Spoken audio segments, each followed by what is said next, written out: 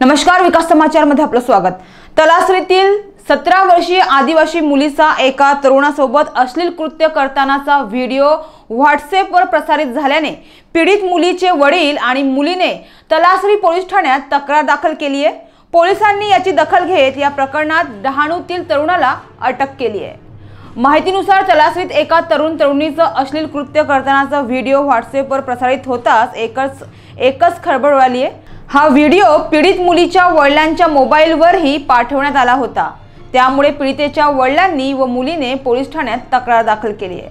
महाविद्यालयात शिक्षण घेणाऱ्या सतरा वर्षीय मुलीचे डहाणूतील एकवीस वर्षीय पंकज शिरसाट याच्याशी प्रेमसंबंध होते. पीडित मुलगी आपल्या मैत्रिणीसह तलासरी पेट्रोल पंपाच्या पडीक बिल्डिंगमध्ये नाश्ता करण्यासाठी गेली असता पंकज हा तिथे आला.